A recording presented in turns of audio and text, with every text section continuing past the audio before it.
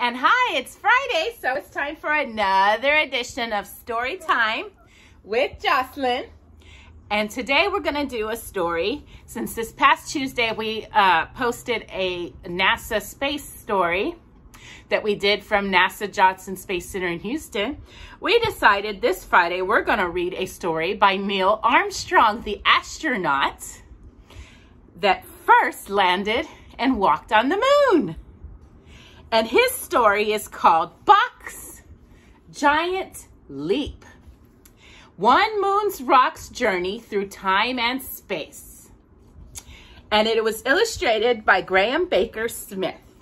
So let us begin with the only children's book by Neil Armstrong, the astronaut who first walked on the moon. Bok's Giant Leap. One Moon's Rock Journey Through Time and Space. Written by Neil Armstrong and illustrated, like I said, by Grahame Baker Smith. You ready, Jocelyn? Here we go. When I was a boy, I dreamed I was high above the earth with only clouds for company. For as long as I could hold my breath, I floated. Beautiful pictures.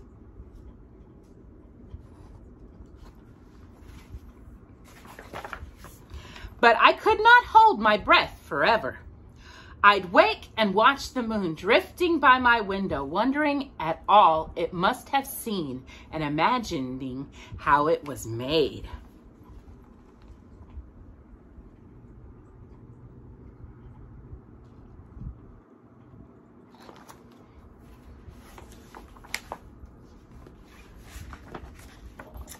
I learned that when the earth was very young, 4.5 billion years ago, it was involved in a great celestial fender bender.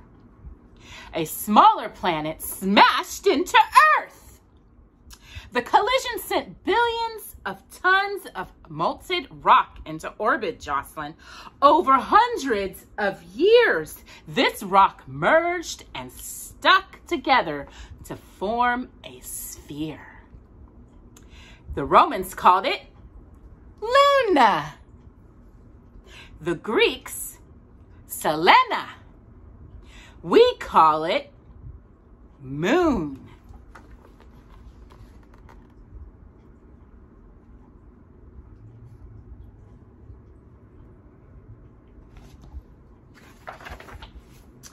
It was a turbulent and terrifying time for the moon. Lava flooded up from below its surface, filling giant craters like hot soup in a bowl. Geysers of erupting gas shot globulins of melted rock into the sky. Half a billion years of chaos passed before the moon began to quiet down. As soon as the crust cooled, it cracked. A piece of fresh young basalt broke off from a larger rock and rolled away. I call him Bok.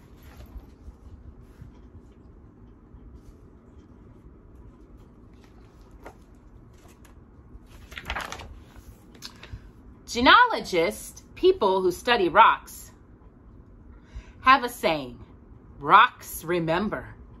History was recorded in the minerals and marks of each boulder and pebble.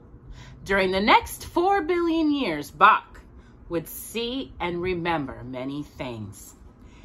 Jocelyn, he saw the sun rise in the east and parade majestically across the sky to set in the west. Occasionally, new stars would burn with a firing brilliance against the velvet blackness of space.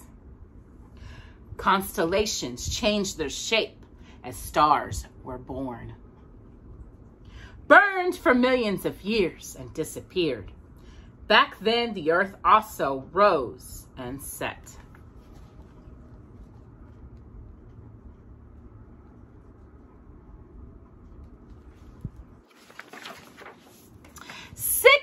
Hundred million years went by and then an asteroid struck Bok. It catapulted him into the sky toward a crater at a terrific height and speed. Bok held his breath for as long as he could, but eventually he fell.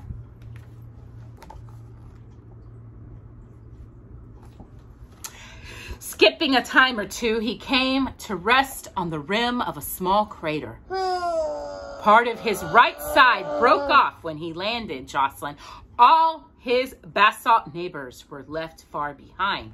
He didn't know if they had been vaporized, melted, or blasted far away.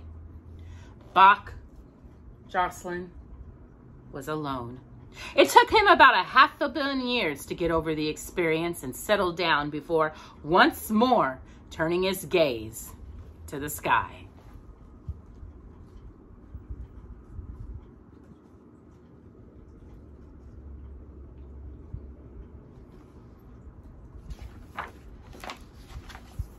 The earth was still there. It was in a state of terrible upheaval. Volcanoes turned its atmosphere to smoke. But when this cleared, Bok could see the blue of nearly formed oceans.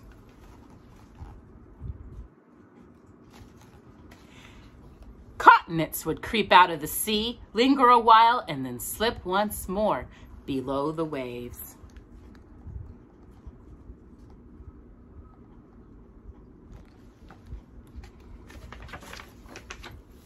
And swimming deep beneath those waves was teeming, earliest complex life on Earth.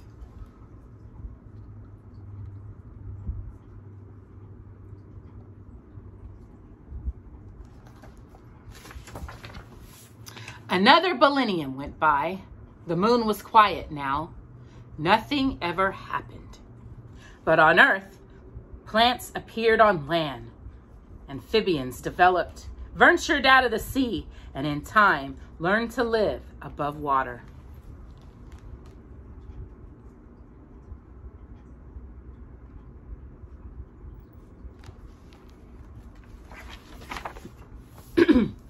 Dinosaurs roamed the earth, Jocelyn, but they disappeared almost before Bok noticed them.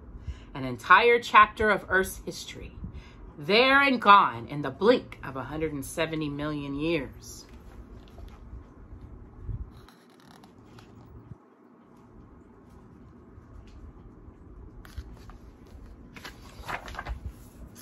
Bok was then a little over 3.5 billion years old and starting to feel sleepy.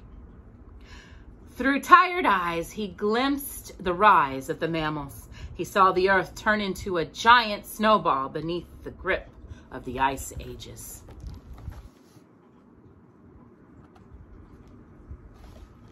Just before sleep enveloped him, he saw a new creature standing on two legs, folding a flint-tipped spear, staring in wonder at the moon.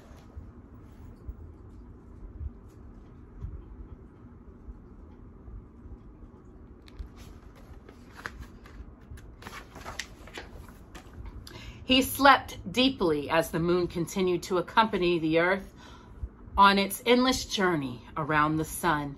And so he missed the unfolding story of humankind. He missed Plato and Hypatia, Charles Darwin, Maria Mitchell, Konstantin Trofosakovsky, and Betsy Coleman.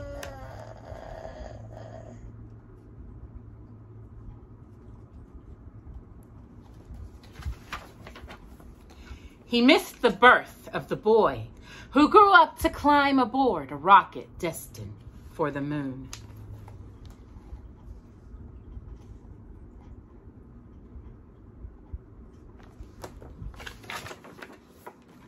Bok couldn't have guessed that his nap would end with a rude awakening early one lunar morning.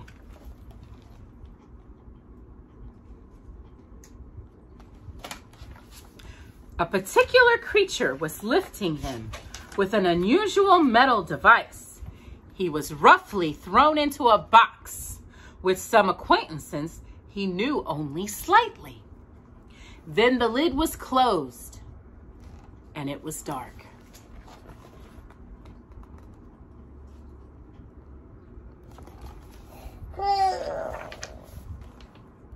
Bok felt a brief force. Then a sense of weightlessness for a time. Flames outside the window blotted out of the blue of the earth as the space capsule streaked through the atmosphere, blazing like a comet. The heat stirred a deep and ancient memory in Bok, A memory from so long ago it seemed like a dream. He remembered the early days of the moon, the chaos and the fire of its birth. He remembered he had been a part of the earth.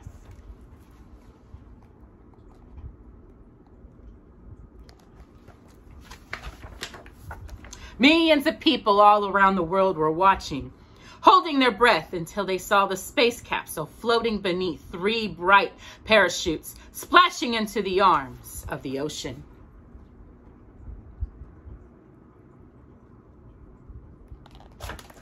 Returning all on board safely to the place from which their journey began.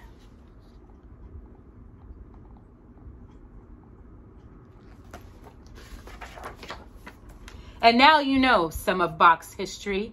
You can go and see him at the museum in the United States, or at least part of him. A chip off the old Bok, you could say. Perhaps you might try and imagine what he is thinking as he looks out at us looking at him. Does he see us as something new and different on this earth that he's watched for so long? Or like the dinosaurs, just another species that exists for a brief moment of geological time. After all he's seen, Bok must be very wise. But if you ask him about the Egyptian pharaohs, don't hold your breath waiting for an answer. He missed them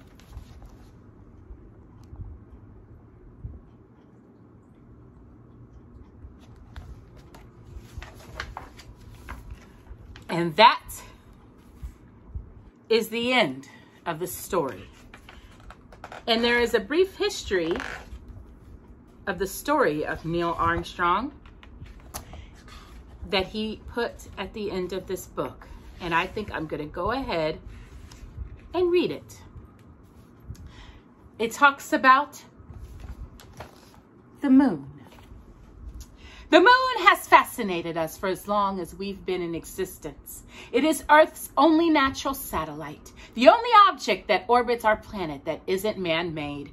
Although it spins around just like the Earth does, we always see the same face of the moon because it rotates in exactly the same time as it takes to orbit the Earth. Many scientists believe that the moon was created around 4.5 billion years ago when a planet roughly the size of Mars collided with Earth. The impact sprayed rocky debris into space, which eventually gathered together to form our moon. At first, it was a very volcanic there, with lava erupting all the time. But over millions of years, things settled down and became quiet. The only disturbance was whenever an asteroid or a comet struck the moon, creating impact craters that we can still see on its surface. The Earth Our planet is about 100 million years older than the moon and formed when smaller rocks collided and clumped together. The impacts created a lot of heat and for a while, Earth was boiling ocean of lava, but eventually things started to cool off and a crust formed on the Earth's surface. Water vapor escaped and soon clouds gathered, Jocelyn, as rain started to fall and meteorites containing water impacted Earth. The crust was flooded creating oceans. The first life on Earth was very simple organisms that developed about 4 billion years ago.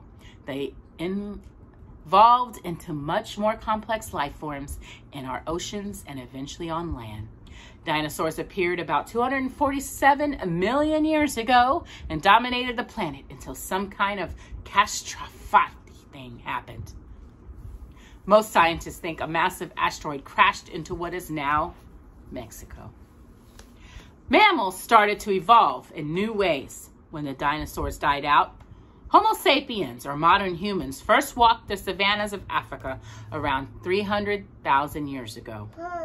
Since then, we have spread across the world and learned a great deal thanks to ingenious minds like philosopher Plato, mathematician Hypatia, nationalist Charles Darwin, astronomer Maria Mitchell, pilot Bessie Coleman, rocket scientist Konstantin Tverdadsky, and even the first man to walk on the moon, Neil Armstrong.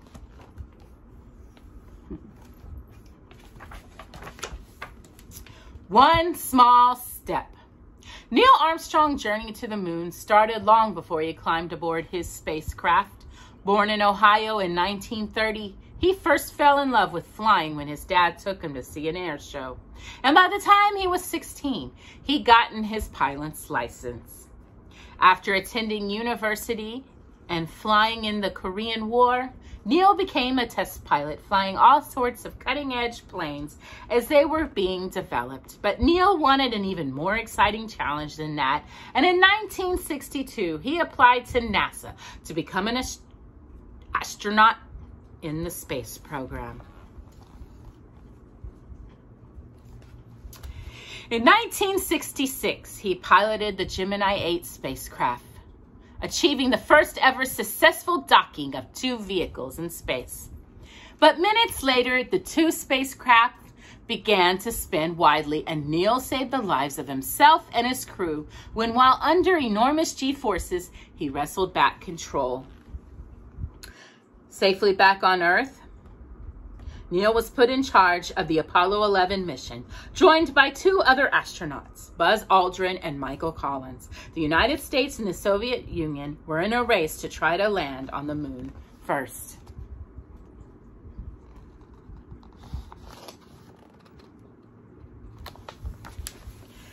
On July 16, 1969, Apollo 11 launched from Kennedy Space Center in Florida. Four days later, having orbited the moon 13 times, Apollo 11's lunar module set down on the Sea of Tranquility, which is actually an impact crater filled with basalt rock, not an ocean. On July 20th, Neil became the first person to walk on the moon. With 600 million people watching on TVs around the world, his first words were, That's one small step for man, one giant leap for mankind.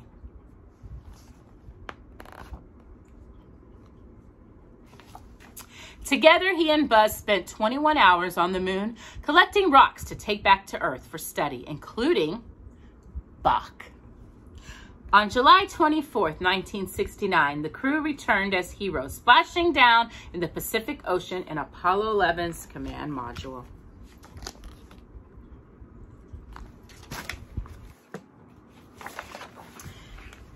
In 2006, NASA announced Neil as an ambassador of exploration and presented him with a small fragment of a rock he had brought back from the moon. During Neil's acceptance speech, he gave the rock a name, Bok. And imagine all the amazing things it must have seen throughout the solar system's history. Neil's wife, Carol Armstrong, had the idea of turning it into a book. And this book is the result. Bok is now on display at the Cincinnati Museum Center Museum of Natural History and Science.